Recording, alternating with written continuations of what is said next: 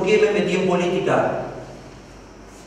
Porque me di cuenta que en realidad si uno hiciera una política sana, una política sana y honesta, tendría la capacidad de hacer mucho más por la gente que lo que puedo hacer sentado en un consultorio. Yo atiendo a gente, digamos, de hace muchos años, atiendo en la parte pública, privada, y puedo eh, ir a la parte pública donde no voy porque gane plata, justamente, no me interesa eso, uno va porque aporta su granito de arena a la sociedad. Siempre depende de la buena voluntad de las personas. Nunca depende de que el político haga algo bien. Siempre depende de que yo haga algo, de que yo haga una fundación.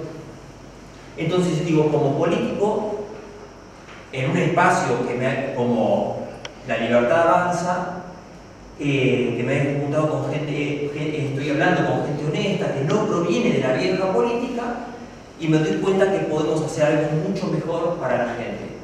Estos son los valores y no son míos, en realidad hay un montón de gente que piensa igual que yo. Esto yo lo escucho en el consultorio y es permanente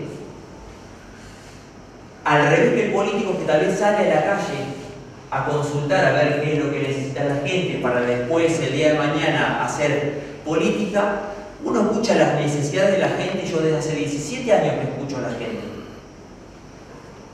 En la intimidad del consultorio la gente cuenta las necesidades, son siempre las mismas. Y básicamente la honestidad, el compromiso, la transparencia, todo esto yo lo puedo brindar y doy fe, digamos, la gente que me conoce da fe de que lo podemos hacer. Y es mucha la gente que me acompaña. Podemos hacer una municipalidad de puertas abiertas, recibir toda la gente que sea necesario. Y el compromiso, acá viene una de las cosas más importantes que no voy a dar, digamos, yo no quiero decir cuáles son las, eh, las acciones que haría como una vez asumiendo, sino que eso lo dejaría para más adelante. Pero sí hay algo importante en lo que yo puedo brindar en Villa General Belgrano y para el Valle de Calamuchita, que es la salud. Yo puedo hacer para la salud, sé lo que hay que hacer y sé cómo hay que hacerlo.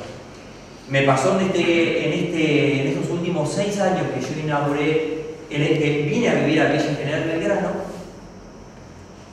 a los dos años de haber estado acá,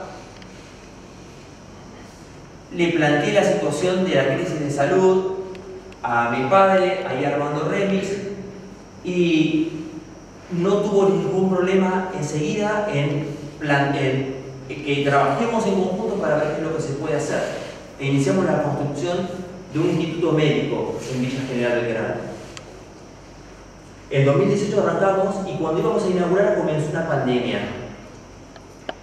Así que inauguramos primero que nada en plena pandemia y con una crisis de salud brutal, como siempre en la Argentina, con una inflación, inflación del 100% anual, con obras sociales que siempre están en crisis y que te pagan a 6, 7, 8, 10 meses para que te paguen, tenés que pagar, mandar una carta de documentos si no, no te pagan. Y en ese contexto, dos centros que había acá en la zona cerraron. Y el municipio local me multiplicó los impuestos por nueve. Y así todos nosotros seguimos creciendo. Entonces, ¿quién mejor que yo para mejorar la salud? Que tengo empatía y que sé manejar los recursos de salud. Por supuesto que en educación y seguridad también se puede entrometer la municipalidad, debería hacerlo y se puede, se puede lograr mejorar educación, mejorar seguridad desde, desde el granito de arena que es Villa General Belgrano, por supuesto. Lo que quiero también, otra de las cosas, es aportar las ideas, las necesidades y que a partir de ahora, yo en 48 horas que salió esto en la tele, en las redes, y fue muy poquito, pero tuve una digamos, una explosión del celular, del teléfono, de, la, del WhatsApp, de las redes sociales y en mucha la gente que está interesada en el movimiento. Así que también estamos abiertos a que se pueda sumar gente a mm, participar, tanto en dar su opinión, en hablar o que se pueda también meter en el partido y ser eh, parte del cambio.